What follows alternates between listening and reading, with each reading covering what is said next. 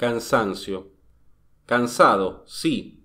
Cansado de usar un solo brazo, dos labios, veinte dedos, no sé cuántas palabras, no sé cuántos recuerdos, grisáceos, fragmentarios. Cansado, muy cansado de este frío esqueleto, tan púdico, tan casto, que cuando se desnude no sabré si es el mismo que usé mientras vivía. Cansado, sí, cansado, por carecer de antenas, de un ojo en cada homóplato y de una cola auténtica, alegre, desatada, y no este rabo hipócrita, degenerado, enano, cansado sobre todo de estar siempre conmigo, de hallarme cada día, cuando termine el sueño, allí donde me encuentre, con las mismas narices y con las mismas piernas, como si no deseara esperar la rompiente con un cutis de playa, ofrecer al rocío dos senos de magnolia, acariciar la tierra con un vientre de oruga y vivir unos meses adentro de una piedra nocturnos.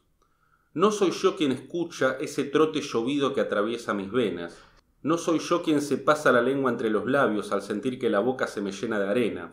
No soy yo quien espera enredado en mis nervios que las horas me acerquen al alivio del sueño, ni el que está con mis manos de yeso enloquecido, mirando entre mis huesos las áridas paredes. No soy yo quien escribe estas palabras huérfanas.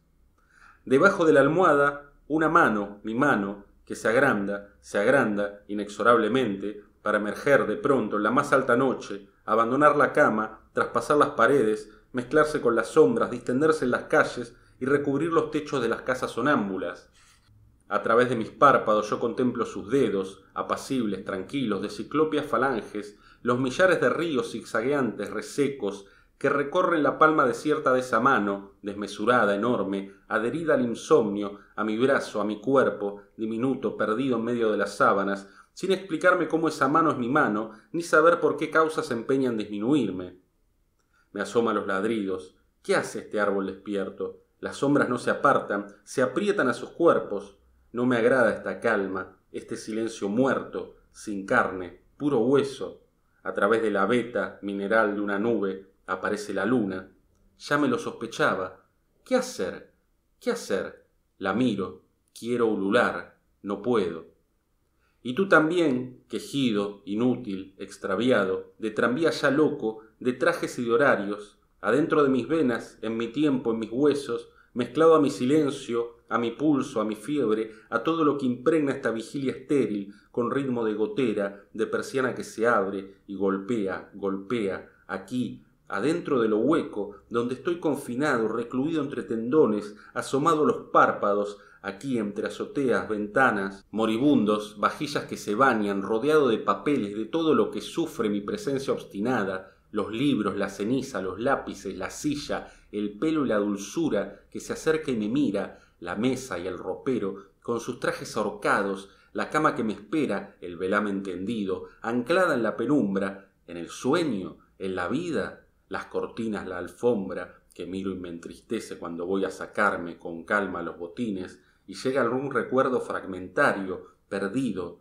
las plazas de mi infancia, un camino, una casa, las manos, las caderas, las piernas amputadas de mujeres diluidas por las horas, los ruidos que suelen detenerme de pronto en la certeza de haberlas poseído entre muebles extraños, mientras oigo la calle, la noche que oscuramente muge como una vaca enferma al ir a cobijarse en los grandes hangares que orinan los inviernos mientras salen los trenes taciturnos quejosos que van hacia la aurora, desgarrando el silencio con un grito oxidado que se mezcla a mis nervios, a mi tinta, a mi sangre.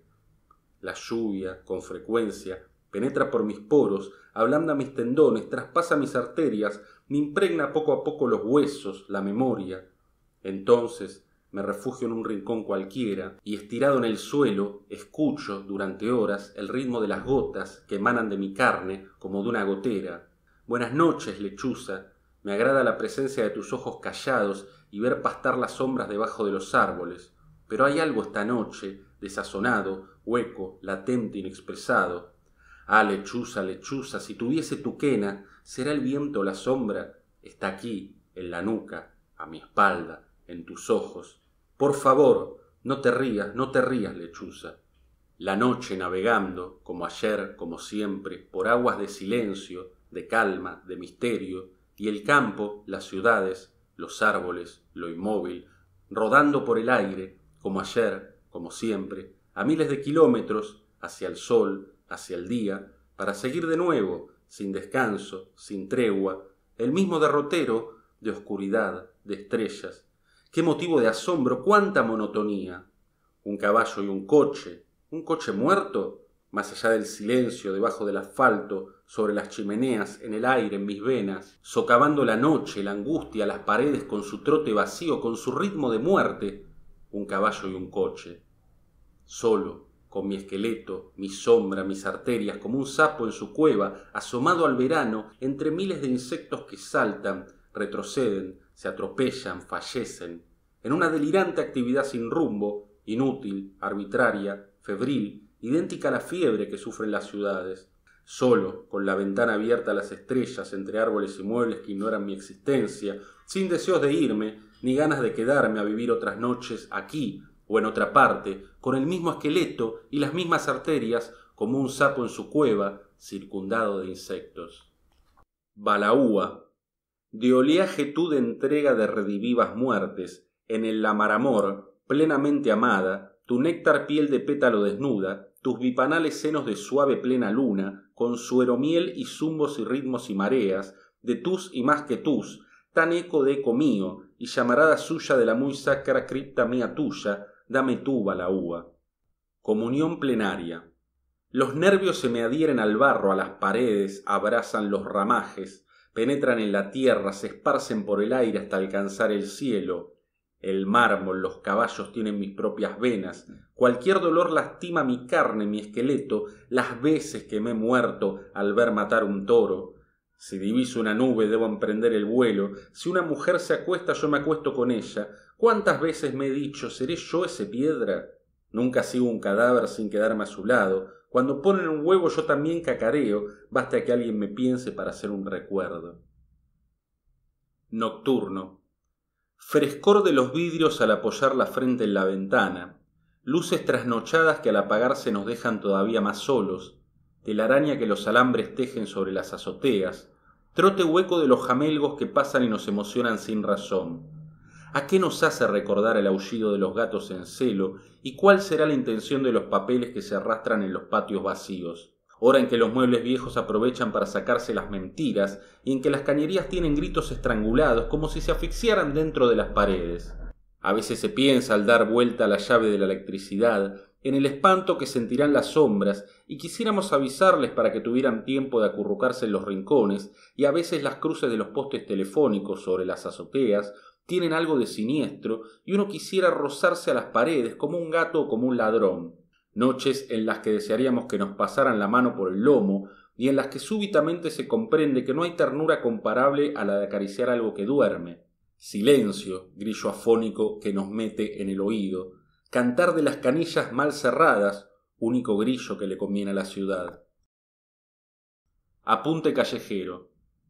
En la terraza de un café hay una familia gris. Pasan unos senos viscos buscando una sonrisa sobre las mesas, el ruido de los automóviles destiñe las hojas de los árboles.